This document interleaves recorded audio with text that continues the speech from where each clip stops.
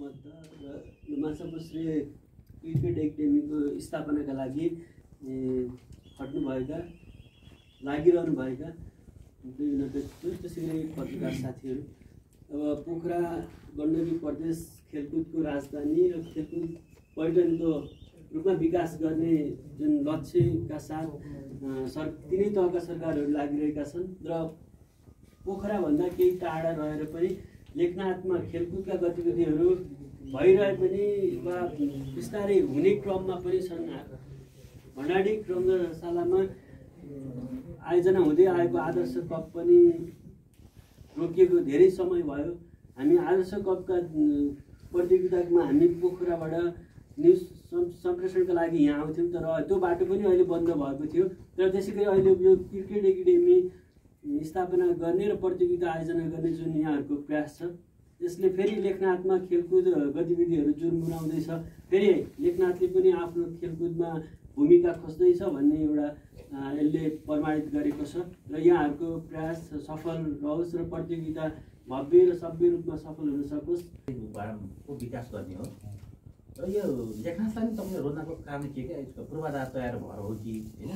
होइन अब यहाँ सबै तयारी छ त्यसको लागि भएर हो कि? अथवा यसको भन्दा वैकल्पिक अरू ठाउँ छ कि? तर लेखनाथलाई रोज्नुको कारण के होला? त्यसमा बताइदिनुहोस् क्रिकेटको लागि यस्तो हाम्रो यो माछापुछरी क्रिकेट क्लबले एकाडेमी उता नदीपुरमा पनि चलाउँथ्यो जुन अहिले प्रदेश सभा भयो।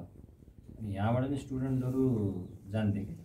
अनि उहाँहरूले हामीले हेर्दाखेरि के भयो भनेपछि उनीहरूको टाइम ट्राभलिङ भनौँ न लगभग एक घन्टै लाग्ने उहाँ पुग्नलाई अनि अहिले यो स्कुलको टाइममा कलेजको टाइममा हाम्रो नेपालमा टाइम कस्तो छ? नाइन टू फाइभ छ कसैको नाइन टू फोर छ। अनि न बिहानको सेसन पनि एकदमै टाइम नमिल्ने अनि यता बेलुकाको पनि नमिल्ने। कारण के भनेपछि ट्राभलिङ बढी भएर। अनि हामीले के सोच्यो लेखनाथमा पनि प्लेयर्सहरू टन्न रहेछ। स्कोप छैन यहाँ किन? खेल्ने ठाउँै चौरै नभएको। एउटा फुटबल ग्राउन्ड रहेछ त्यहाँ। कुन के भन्छ त्यो ठाउँलाई? भण्डारडिङमा अनि यहाँको बच्चाहरूले पनि के भन्यो भनेपछि सर हामीलाई नि यतातिर कतै एकाडेमी भयो भए हामीलाई नि सजिलो हुन्थ्यो। हामी पनि भनौँ न जस्तो हप्तामा अहिले एक दुई दिन जान्छौँ भने त्यहाँ रेगुलर भइन्थ्यो। खेतमा पनि हेरेको नि अँ, हामीले एउटा खेत पनि रोजेको थियौँ त्यहाँदेखि ठाउँ अलि सानो भयो कन्जेस्टेड भयो। पछि त्यसपछि हाम्रो आँखा ग्राउन्डमा पऱ्यो त्यसपछि। त्यो चौर जहिले पनि खाली रहने। अनि उहाँहरूसँग कुरा गर्दाखेरि उहाँहरूले पहिला दुई वर्ष अगाडि पहिला उहाँ त्यो बेलाको प्रेसिडेन्टले बुझ्नु भएन क्रिकेटको बारेमा त्यति। अहिलेको जो अहिले हुनुहुन्छ हाम्रो बलराम उहाँलाई एक्सप्लेन गरेपछि उहाँले हुन्छ हाम्रो सम्पूर्ण टिमले चाहिँ।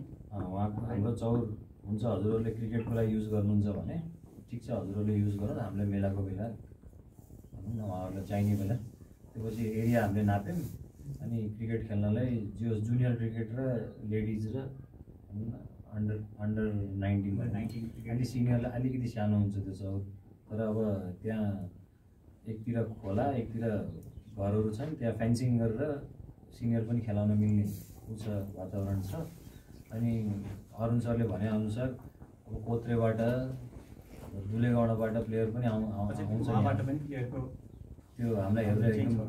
एकदम खुसी लाग्छ किनकि अब त्यो त्यति टाढाबाट नि यहाँ आउँछ भनेपछि यहाँबाट उनीहरूलाई उता जानु झन् टाढो पर्ने पोखरा। पोखरामा एउटा मात्रै अहिले ठाउँ छ त्यो सभा बन्नको कारण तिनीहरूले अब त्यो त भवनहरू के के बनाउने कुरा गरे। त्यो भएपछि त्यहाँ अब एकाडेमी सञ्चालन गर्न नि गाह्रो भयो हामीलाई। अनि रङ्गशालामा फेरि काशी क्रिकेटको आफ्नै एकाडेमी छ। त्यहाँ फेरि रेडिमेड प्लेयरहरू मात्रै खेल्छ। त्यहाँ भनौँ न सानो बच्चाहरूलाई सिकाउने वातावरण त्यति छैन। त्यो भएर लेखनाथमा पनि किन इनिसिएटिभ नलिउँ त्योपछि मेबी हामीले अब तनहु पनि टार्गेट गर्छौँ। स्याङ्जा छँदैछ पर्वत छँदैछ त्यता पनि त्यहाँ जो क्रिकेटलाई मन पराउँछन् उहाँहरूसँग कुरा गर्दैछौँ हामीले। त्यता भयो नि अब जोस् गण्डकीलाई स्पोर्ट्सको लागि हामीलाई चिन्छ गण्डकीलाई अरू अरू जिल्लामा पनि क्रिकेट फैलियोस् भनेर हामीले त्यता पनि एकाडेमी खोल्ने सोच छ हाम्रो